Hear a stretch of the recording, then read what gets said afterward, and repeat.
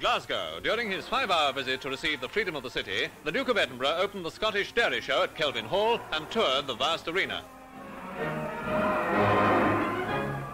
Of the honour which was to follow, the Duke had this to say at Glasgow's City Hall.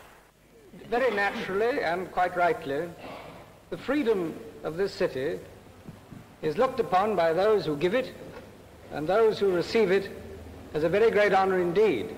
And the ceremony is full of charm and dignity.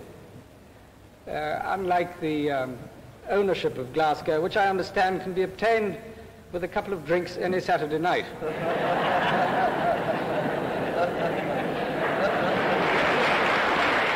The Lord Provost led three cheers for Glasgow's youngest Burgess. Hip, hip,